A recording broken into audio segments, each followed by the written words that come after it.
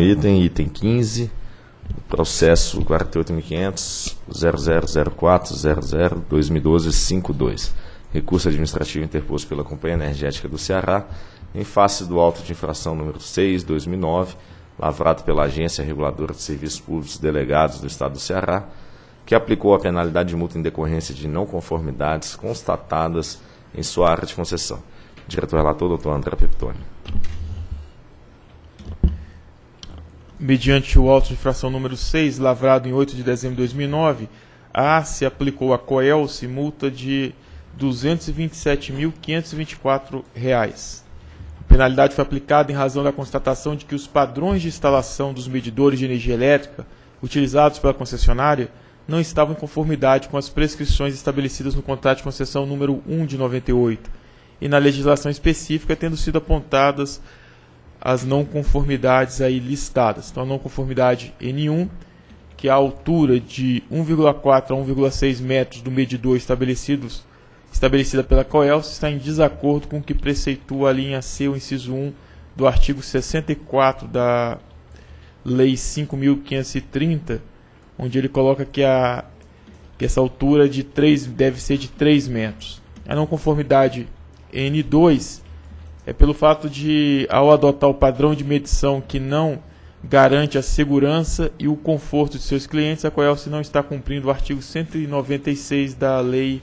5.530. E a, temos a conformidade N5, que por não garantir a aproximação segura ao seu padrão de medição, notadamente aos deficientes visuais, a Coelce também está em desacordo com o decreto 5.596. E por fim, a não conformidade N6, que ao não promover de forma eficiente e segura a acessibilidade de pessoas portadoras de deficiência física, a COELSE não está cumprindo também o que determina a legislação, que no caso, parágrafo 1 artigo 6 da Lei 8987.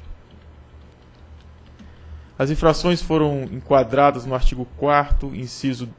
15 da Resolução 63, ou seja, uma é uma multa do penalidade do grupo 1,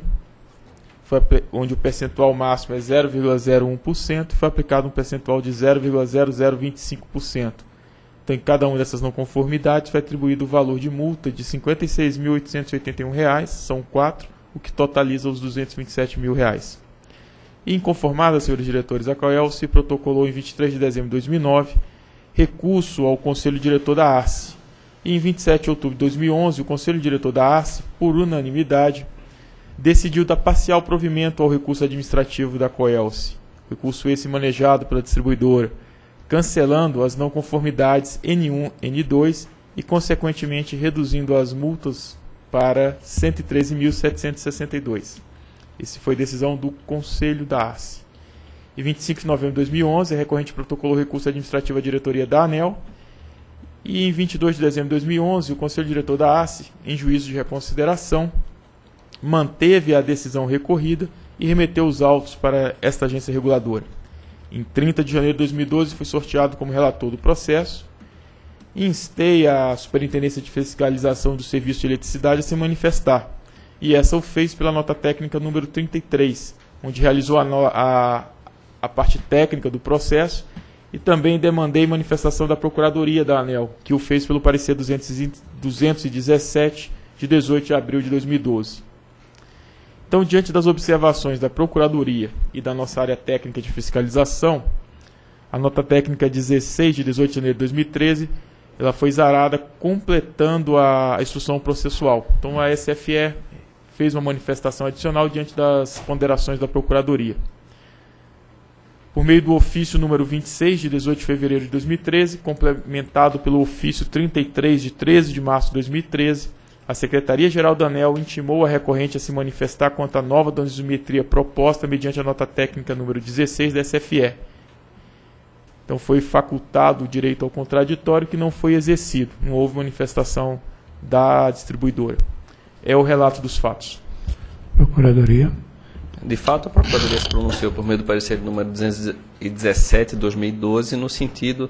do improvimento do recurso, e porém registrou a possibilidade de agravamento da, da pena de ofício e por isso que, que opinou pela, pela notificação da recorrente, o que, pelo visto, já foi feito.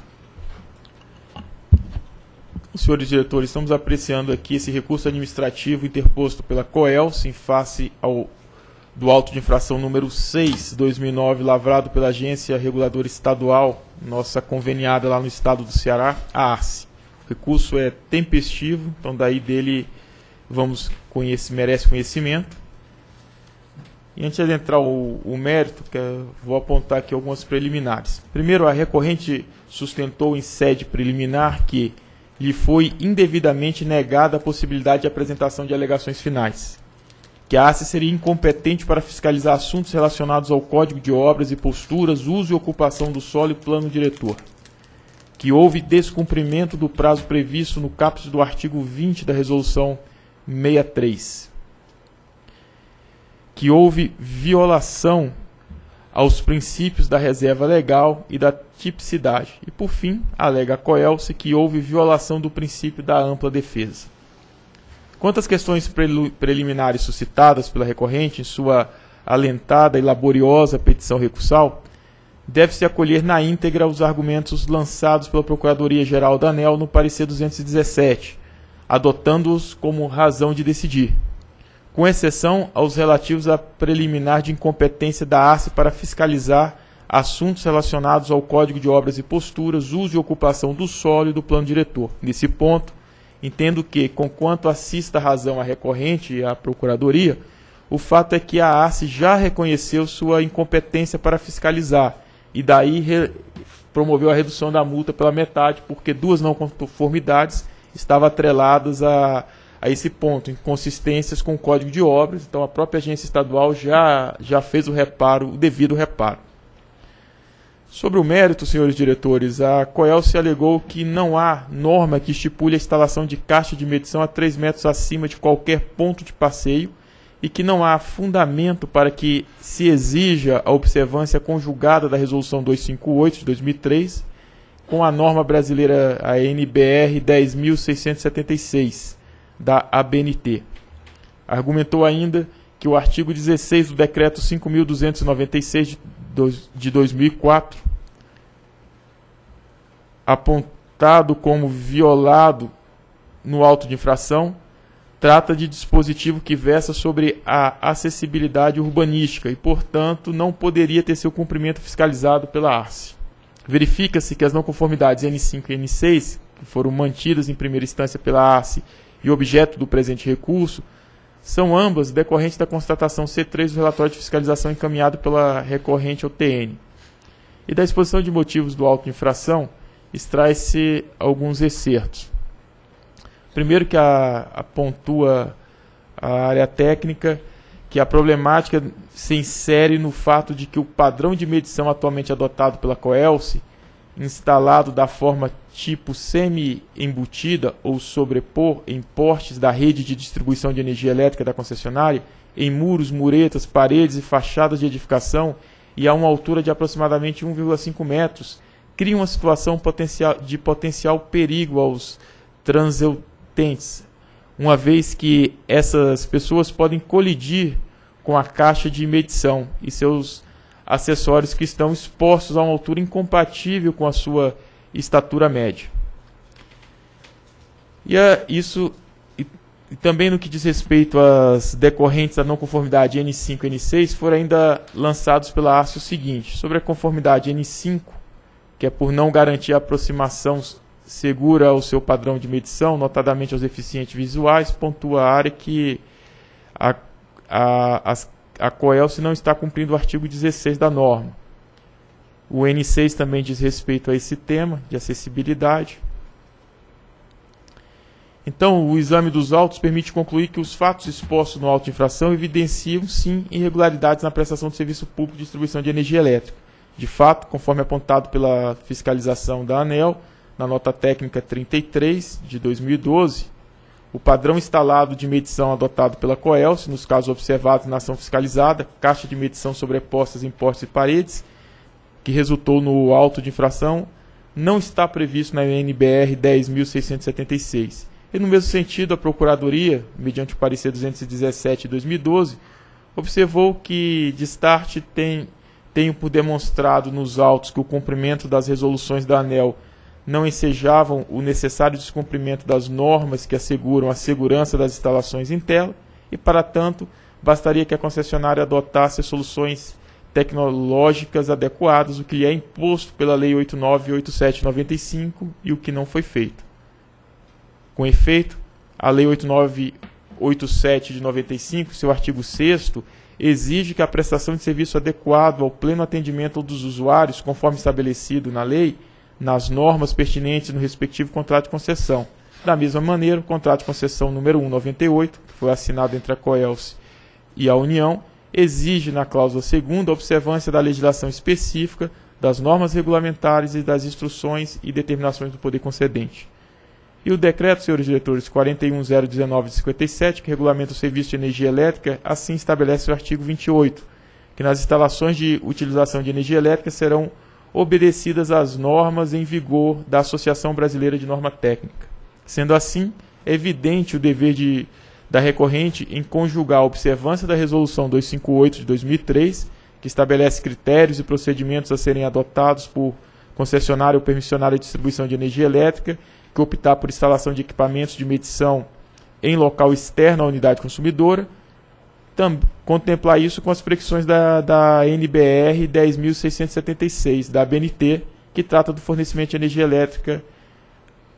a edificações individuais em tensão secundária. Portanto, não merece acolhimento aos argumentos apresentados pela recorrente, sendo certa a ocorrência da não conformidade N6. Nada obstante,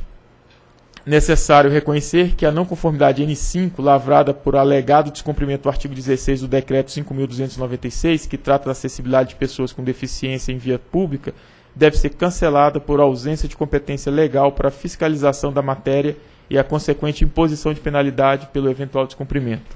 Deve-se considerar que, conforme apontado pela Procuradoria, por meio do despacho 124 de 2012, e inclusive já decidido por essa diretoria colegiada, a competência fiscalizadora da ANEL está direcionada às normas legais e regulamentares relativas especificamente à prestação do serviço de energia elétrica. É o que se deduz do exame do inciso 4 do artigo 3 da 9427 de 96, que instituiu o ANEL e, por via de consequência, fixou sua finalidade e atribuições. Nessa linha, apenas a violação da norma jurídica que verse sobre prestação de serviço de energia elétrica é suscetível de ser fiscalizada e apenada por essa agência. Com efeito, a leitura que parece mais aderente à finalidade definida no artigo 2 da 9427 e 96 é a atribuição da ANEL, é a que limita sua atividade de fiscalização às diretrizes e políticas do governo federal relacionadas à produção, transmissão, distribuição e comercialização de energia elétrica. Pelo exposto,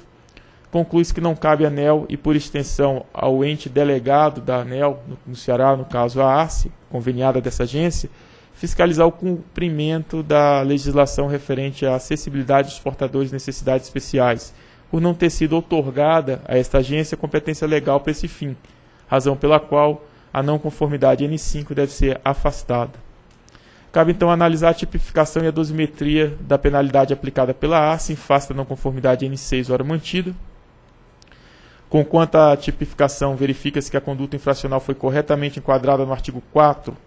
inciso 15 da 63, e quanto à dosimetria, entendo que merece ser acolhida a proposta da SFE, em sua nota técnica 33 de 2012, e acolhida pela Procuradoria no parecer 217 de 2012, no sentido da manutenção da penalidade que foi aplicada na agência estadual, no caso a ARCE. Em face da conduta infracional praticada pela recorrente, verifica-se a inegável abrangência e a gravidade da infração, haja vista que o, com, o comportamento afeta todos os consumidores e todos os cidadãos da respectiva área de concessão da Coelce, com possível consequências indesejáveis, inclusive para a própria segurança dos serviços, dos serviços prestados, uma vez que equipe, os equipamentos ficam expostos e acessíveis ao público em geral e não embutidos conforme determina a norma técnica aplicável. Por outro lado, não vislumbra eventuais danos resultantes da infração para o serviço e ou para os usuários, haja vista o entendimento que vem se consolidando neste colegiado, no sentido de que a norma trata de danos concretos e não meramente potenciais, bem como os danos relativos à acessibilidade urbana não são de competência da ANEL para julgar. Na sequência, deve-se reconhecer que a infratora auferiu vantagem ao praticar a conduta infracional, uma vez que a substancial economia com obras civis obtida ao se instalar o padrão de medição de forma semi-embutida ou meramente sobreposta em postes, muros, muretas, paredes e fachadas, quando a, a norma técnica aplicável determina sua instalação de forma totalmente embutiva. Por fim, registro que a SFE informa constar dos sistemas da ANEL registro da existência de sanção administrativa irrecorrível nos últimos quatro anos anteriores à lavratura do auto de infração número 6. Considerando os parâmetros indicados e a análise realizada, entendo que, não, que a não conformidade N6, hora mantida, é conforme recomendado pela SFE, mais adequadamente coibida mediante a aplicação de penalidade correspondente ao percentual de 0,005% do faturamento da recorrente. Destaca-se que o percentual hora proposto encontra-se aquém do máximo de 0,01%, previsto na Resolução 63 para infrações do Grupo 1, e implica na multa de R$ 113.762,20, quanto considerado ideal para a penalidade a ser aplicada, visando a preservação e a repressão da irregularidade praticada. Por oportuno, Observo que, diante da possibilidade do reformante impédios, a recorrente foi devidamente intimada, até por sugestão da Procuradoria, o que foi feito pelo ofício 26 de 18 de fevereiro, complementado pelo ofício 33 de 13 de março, ambos da SGE, que foi recebido o primeiro e 26 de fevereiro e o segundo e 20 de março. Entretanto, a recorrente não se manifestou, mas citada ela foi. Então não há, portanto, falar de nulidade da decisão com fulcro nas considerações acima, considerando que consta do processo 48.500.000.400.2012, 52, voto por conhecer do recurso administrativo interposto pela COELS e, no mérito, dar-lhe parcial provimento para cancelar a não conformidade N5 e manter a não conformidade N6, aplicando-lhe multa no valor de R$ 113.762,20, valor que devem ser recolhidos conforme a legislação vigente. É o voto. Em discussão. Em votação. Voto com o relator. Também voto com o relator. Também voto com o relator. Proclamo que a diretoria decidiu, por conhecer do recurso administrativo interposto pela COELS, no mérito dar-lhe parcial provimento para cancelar a não conformidade N5 e manter a não conformidade N6,